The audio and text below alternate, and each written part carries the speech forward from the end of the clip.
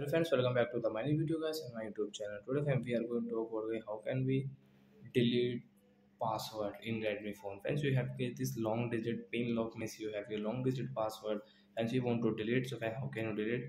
Today I will show you in this video guys. So first of all guys, enter the password to delete your this long digit password. So we will enter our password guys. We will unlock our phone. Then guys, click on your phone setting to delete this password guys then guys scroll it friends you can see this type of setting guys scroll friends you can see password and security guys tap here guys click on your lock screen password enter your password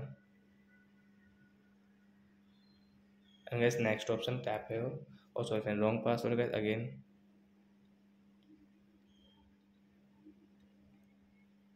next then guys you can see turn off screen lock guys tap here okay option. Friends you can see your password will delete. Long digit password guys. Now you can unlock your phone without any password in your redmi phone. So that's it guys. Thanks for watching the video guys. We will meet on next video. Bye friends